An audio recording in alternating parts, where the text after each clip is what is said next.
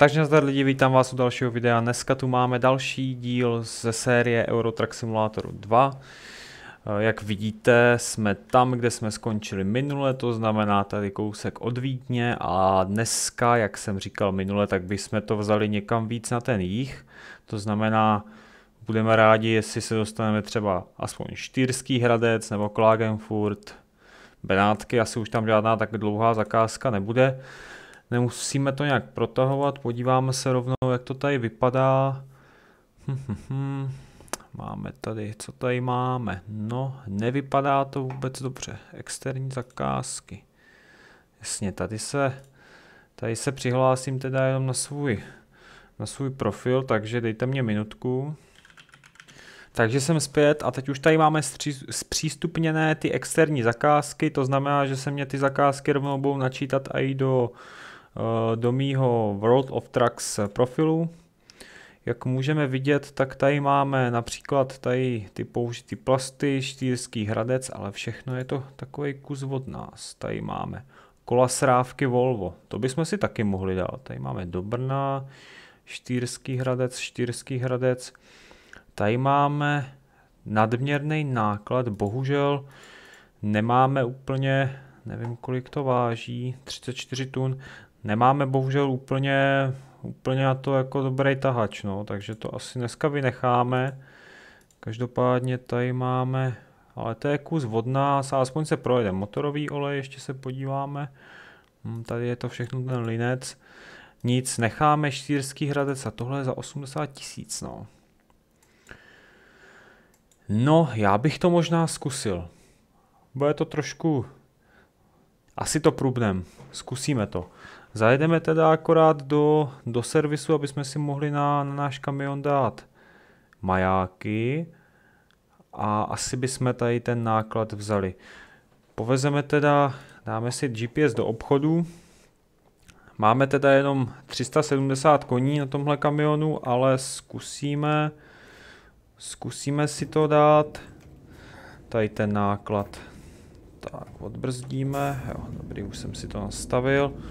Já to musím ve sluchátkách jo, maličko slumit. Tak, jak máme daleko teda? Dva kilometry, jo, to je tady kousíček, dobrý. Tak, super. Aspoň ty majáky, aby jsme tam měli. Ty by byly docela důležitý. Nebo vhodný tady pro tenhle náklad. Motor si bohužel nevylepšíme, i když tam byla myslím 380, těch 10 koní už nám asi moc nepomůže. Nebo 390, můžeme se podívat, ale my stejně jako nemáme moc jako peníze. Máme 131 tisíc korun a bude se nám strhávat určitě splátka. Ale těch 80 tisíc za ten nadměr by se nám hodilo a jak jsem říkal, tak já rád jezdím hodně jako s nadměrama. Takže pro mě samozřejmě je taky jako nadměr, tahat takový, tahat nadměr je pro mě prostě takový jako atraktivní, no. Tak já už jsem si upravil teda tu brznou sílu, takže nám to tolik nebrzdí. Tady nás, tady nás někdo pouští, tak toho využijem. Tak, tady máme prodejnu Iveco, což asi nikdy v životě nenaštívíme. ne, uvidíme, třeba jo, ale Zatím to fakt nemám v plánu, jsem rád, že mám teďka Scaniu. Tak, zaparkujeme tady.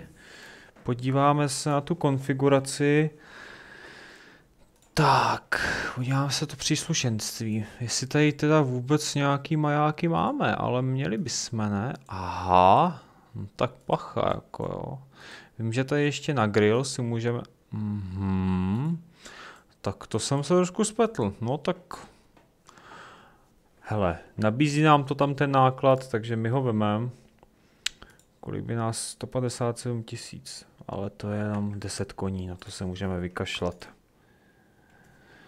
Nic, nevadí. No, tak bohužel budeme to muset přežít bez nějakých majáků.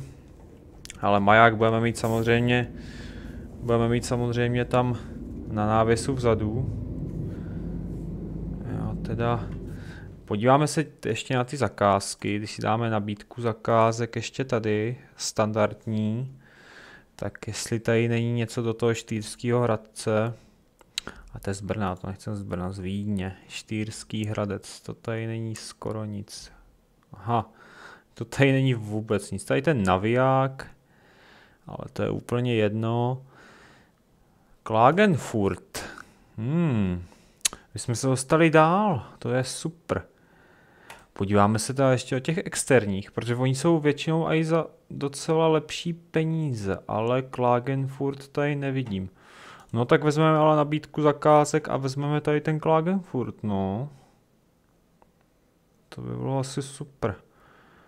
A, a, a, kde jsme ho měli, jo? To bylo až na téhle, jo, tady. Klagenfurt, OK. No tak jo. Takže povezeme lososové filé. No dobře. Mě ta myš trošku klouže, ale... Tak jo.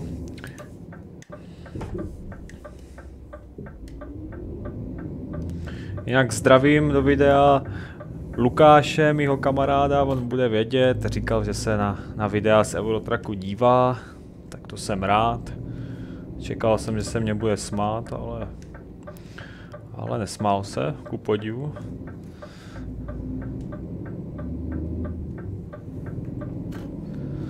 Tak, takže Lukáši, zdravím tě. NTUV, NSB, jsem Hexeď, jasně, víme. Neřešte to, to jsou takový naše zaklínadla. Tak, eh, ale už od těch zaklínadel zase pryč, jdeme se soustředit a jak vidím, tak náklad bereme ve stejné firmě, jak jsme v minulém videu vykládali, takže OK, nevadí. Aspoň jsme se projeli do servisu, zjistili jsme, že na motor nemáme vůbec peníze a je to. Tak, podíváme se, jaký jsou tady konfigurace toho tahače, nebo teda toho návěsu a já si dám tady tento s tou natáčecí zadní nápravou. Tak, vezmeme to, jo, to je hned tady, ale takhle. Takže si tady najdeme doprava a zasouvem si k tomu.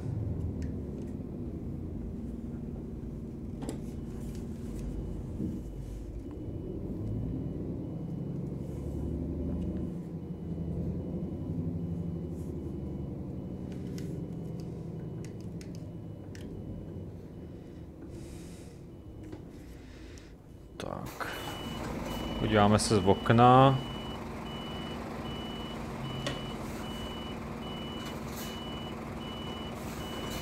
Jo, dobrý.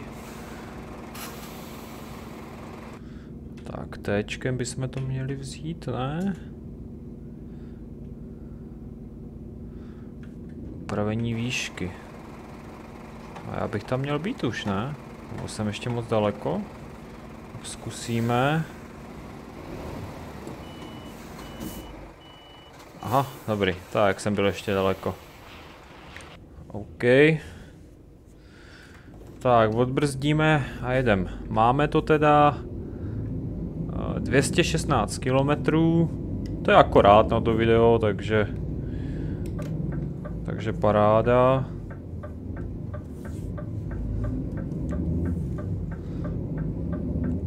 Jak tu natáčecí nápravu jsem chtěl vzít, protože mně se s tím jezdí fakt dobře, fakt jako... A je to taková netypická soustava těch, eh, těch náprav na tom návěsu. Moc se to nevidí, aspoň třeba u nás v Česku se to nevidí skoro vůbec. Ale jako líbí se mě to a hlavně se s tím fakt zatáčí v těch uh, víc jako stísněných podmínkách se s tím zatáčí fakt pěkně. Kolik vlastně vezeme tun? Vezeme 14 tun filé lososového. Tak, dobrý, máme volno. No a směrem teda, jedeme teda směrem na ten Klagenfurt. No a v dalším videu bychom se už teda teoreticky mohli dostat do té Itálie, no. Tam do těch Benátek už to není daleko. Uvidíme, zatím budeme muset teda vést nějaký normálnější zakázky, protože ještě jsme nakonec ten, ten nadměr nevzali, protože to bychom se fakt s tím jako trápili. A já teďka šlápnu úplně, dám, uh, šlápnu na plyn, jo, a ten kamion má co dělat, no prostě. A i tady s tímhle 14, 14, 14 tunovým návěsem, no. Takže ještě jsem ten nadměr nebral. Tak, tempomat jsem zapomněl, čím se tady. Tady je tempomat. Tak, nemáme teda tu... Nemáme tu brzdu, ale tu, jak se tomu říká, ten retardér. To nevadí, to jsem si zapomněl nakonfigurovat, to už tak uděláme příště. Tak, tady trošku jsme se nasrali před ten autobus s prominutím, ale to nevadí. Tak, jinak konečně nový taháč. Minule jsme si ho vlastně kupovali.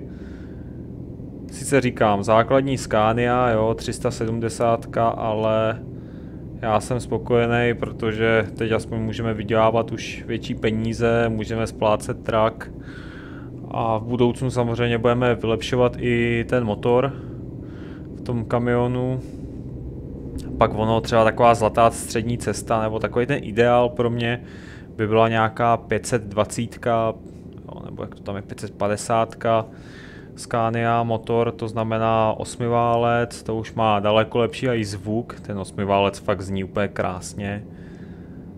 A hlavně už je to i docela výkonný. Po případě tam nějaká S620 nebo něco. To už je potom taky dobrý i na ty nadměry.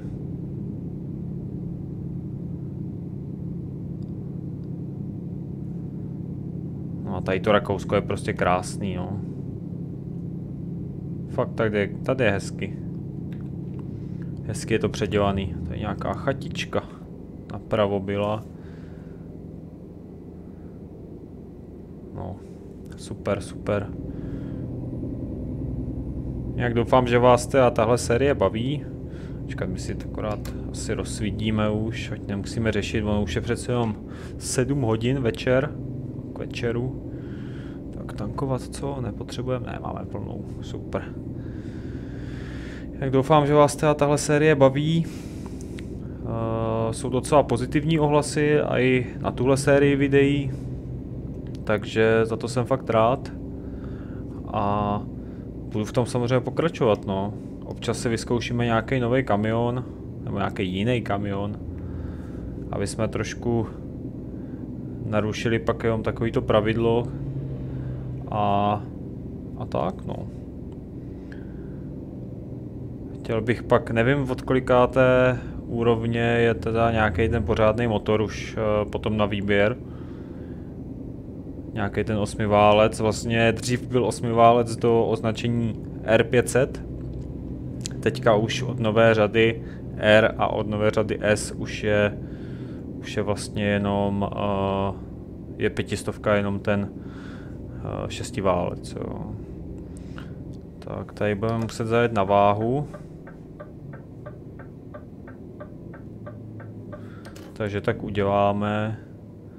Tak, tady máme 60, tady máme 30, takže pomalu budeme brzdit zase.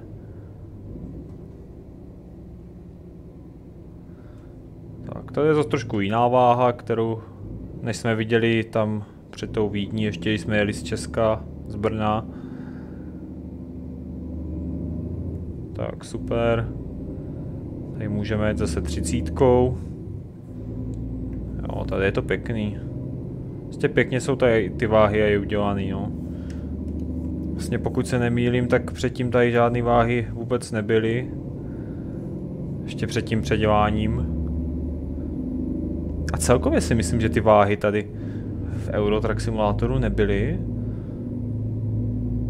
Možná, možná to rozšíření tam eh, ten Baltik, ale Vím, že v American Truck Simulatoru byly ty váhy, ale už od začátku. Ale tady snad v Evropě prostě jsem je ani neviděl. Tak znova podřadíme a trošku tomu šlápnem. Tady do toho kopce nám to nějak nejede. Jo, tady s tím nadměrem nevím, co bych teda dělal, no. My jsme tady moc nevěli.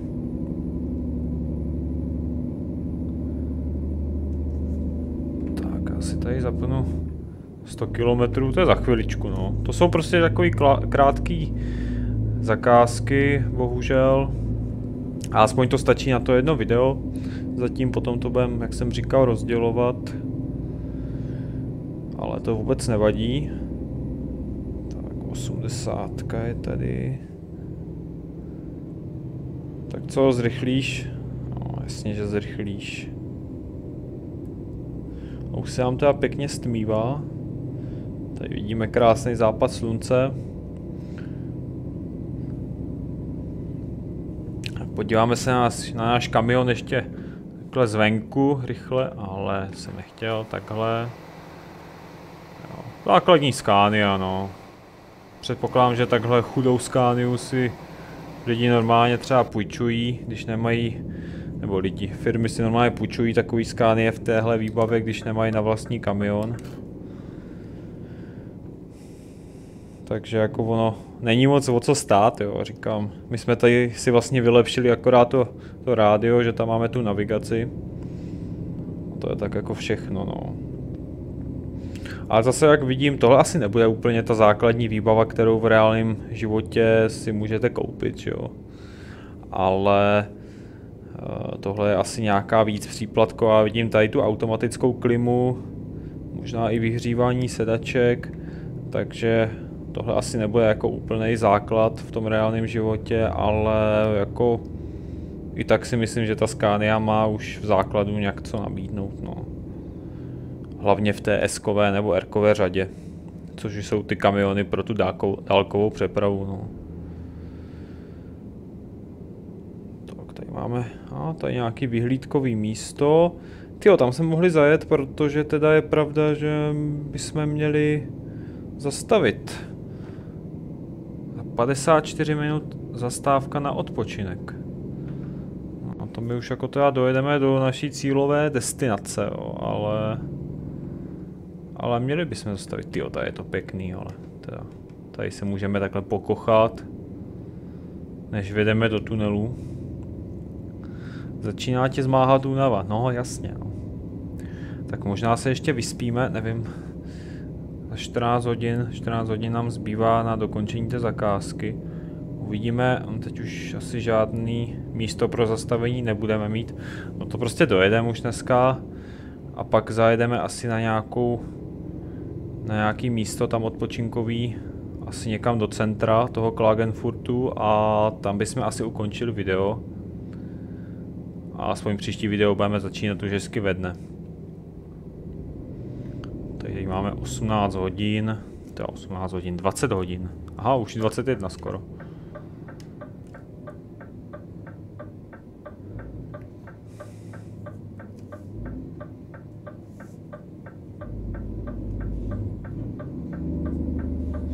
Tak nějak na to se taky těším, co budeme mít pak třeba v budoucnu v tom kamionu, tak jsou ty ledkový světla. A doleva jedem. Oni přece jenom svítí trošku líp, tak jako jsou bělejší, mají ten bělejší odstín. Jasně, už začínáme usínat, super.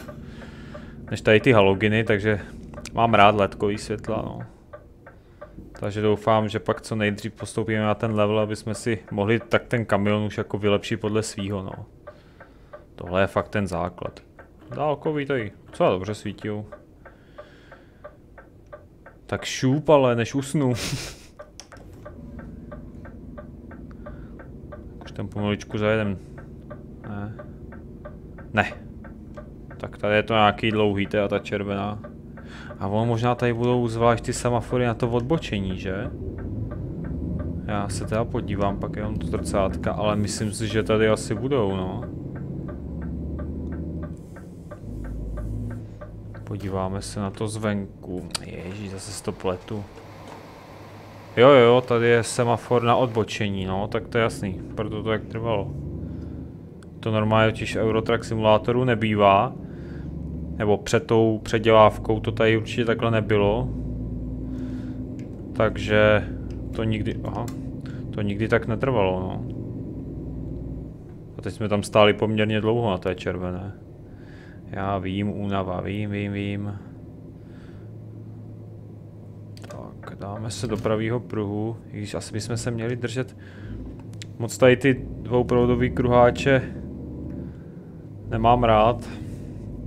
A my se budeme držet prostě tady v tom vnějším pruhu.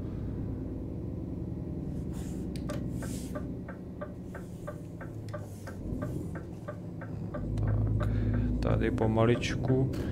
Tady máme benzinku, ale myslím si, že tady není místo na zastavení.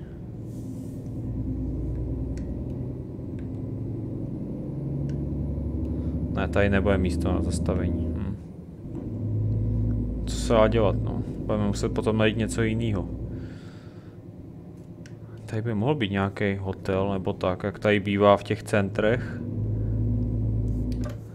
Tak, my už tady, tady zabučujeme. Tady do filmy Trade Aux, Trade Aux, Trade Aux. Tak. Tady opět musím, to jsem si ještě nenastavil, no, že budeme teda vykládat a budeme tam najíždět po svým. Ty brďo, to je až tam v rohu. Uvidíme. Tak, odbrzdíme a můžeme jet. Ale je to tady předělaný pěkně, a i tady teda ty vykládkový, ty vykládací rampy. Počkat, to je, aha, tady, OK. Takže si tady tak najedem. Ne, mají to tady fakt jako pěkný teda.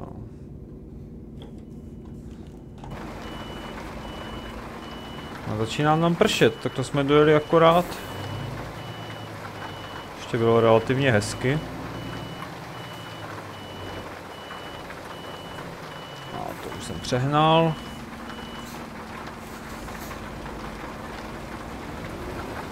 Takže to maličko srovnáme.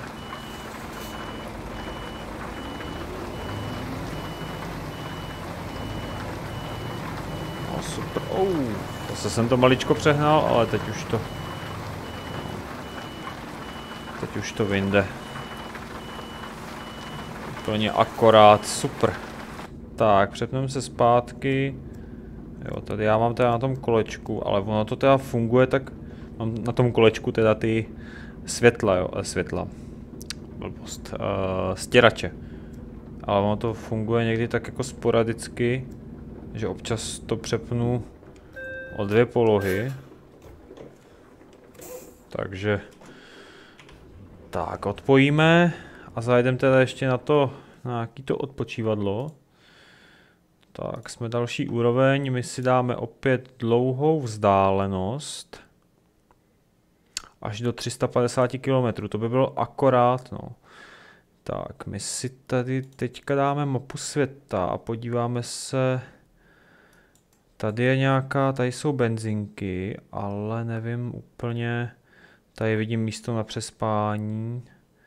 Takže asi dojedeme do toho servisu, to máme kousíček. 23 km, to je nějak hodně, ne? Uvidíme. Doufám, že neusnem po cestě. Tak jenom ještě se přemístíme tam s tahačem. A tam to video teda ukončíme.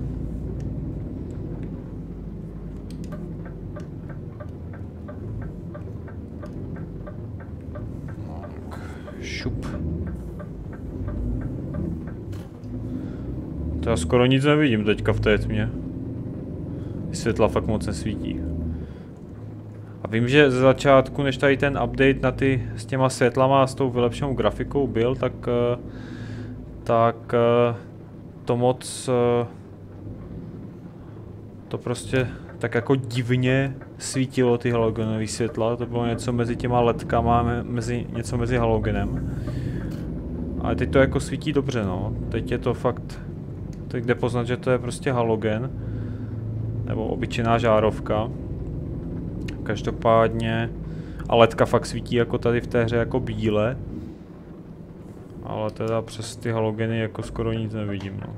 A ne, tyjo, co je? Jak nechtěl brzdit. co to bylo? A teď už to máme aspoň zelenou, jo. Tyjo, teď nic nevezem. To fakt nechtěl brzdit, ne?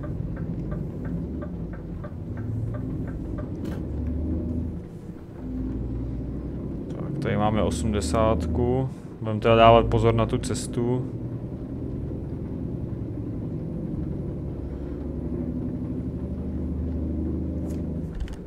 Na vzhůru, vzhůru teda na to odpočinkové místo, teď už máme, no nula, teď už jsme úplně unavení. Já doufám, že neusnem po cestě. Já nevím, jestli si náhodou, jestli si to nevypnu teda. Teď tam ještě zastavíme. Jo, dojedem tam do toho odpočinkového místa. Nebo tady na tu benzinku, co? Tady bude za chviličku benzinka. A asi si to vypnu do dalšího dílu, protože je pravda, proč bychom si na to měli hrát, když prostě chci natočit vždycky za jedno video nějakou trasu, že jo. Tyjo, zastav. To asi tu intenzitu toho brždění budu muset asi ještě trošku zvednout. Protože to je až moc málo. Tyjo, tady je to pěkný teda v tom Klagenfurtu. To je takový živý, fakt je to hezký centrum tady. Hezky je to udělaný. Tak šup. Nebo tady fakt usnu. Tak a tady by měla být teda ta benzinka, takže to bude stejný jak tady naproti. Tak my tady někde prostě jenom zastavíme na kraji. Nebo tam dozadu pojedeme. Asi tady dozadu, za tu benzinku. Uvidíme, jestli se tam bude dát někde zastavit. Tyjo, tady boxy na umývání auta. Tyjo, hustý, fakt, fakt dobrý teda. A já bych to zapíchl tady přesně, jo, to je naše místo. Tady je sice někam nějaká cesta, ale my to tady prostě dáme takhle na hulváta. Tak, podíváme se, jak jsme zastavili. Tyjo, já si furt mačkám tu F3. No, teda zastavili jsme šíleně. Projede kolem nás aspoň tady kolega. Ne. Hmm. Tak co, kam pojedem? Jo, furt. No tak, tak jinak. Tak to uděláme následujícím způsobem. Kolego, sorry. Chápu, jasně, sorry. Dáme to tady přesně. Jeď. Přesně takhle vedle tady těch boxů. No, zastavíme tady. Tady snad obsluha nás úplně nezabije. Trošku si ještě couvnem. Tak, no, takhle bych to tady zapíchl pro dnešek. Tak, tohle vypneme. Tak, tak jo. Já si to teda vypnu v nastavení hry. To asi bude fakt nejlepší simulace únavy vypnout, no a je to. Tak, super. Tak jo, tak to by bylo pro dnešní video všechno. Já doufám, že se vám tohle video líbilo. Pokud ano, zanechte like a dejte odběr a u dalšího videa z Eurotrack Simulátoru se zase uvidíme. No, aspoň uslyšíme. Tak jo, mějte se zatím, ahoj.